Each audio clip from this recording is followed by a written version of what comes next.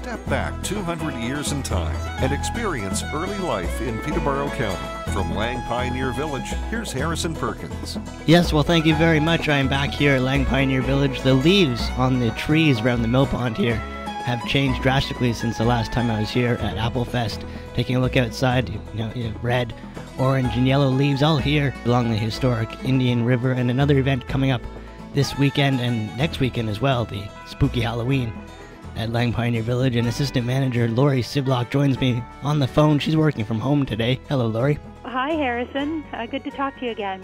Certainly, things have changed a lot since uh, the last time we talked. Yeah, so I guess we have another event slowly winding down the 2012 season. We have this event and then the Christmas event later on in December. But we'll talk about this event today taking place this weekend. And if you want to tell me a little bit about that.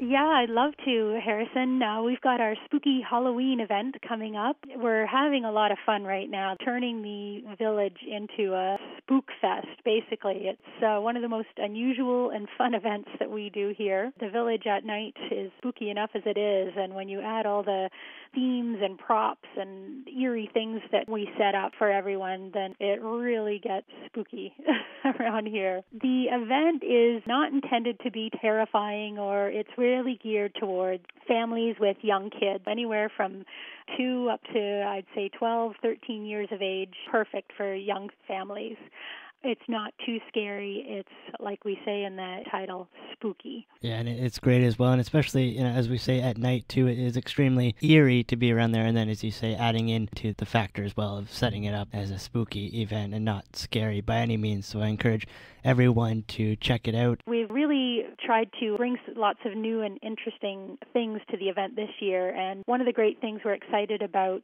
is that we've got a dark den of bats this year.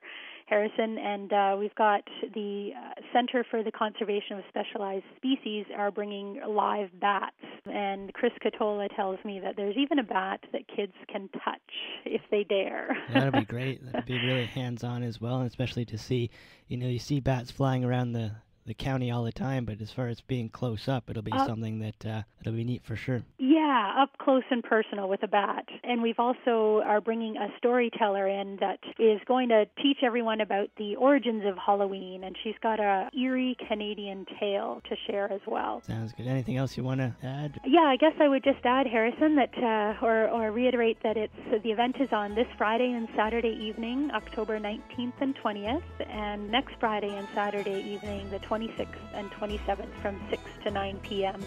And dress in costume and come out for all the eerie sights and sounds uh, for a frightfully fun frolic. well, thank you very much, Laurie, and I'll see you on Friday. That's all the time we have for this week. For all of us here at Lang Pioneer Village, I'm Harrison Perkins. Thank you for listening.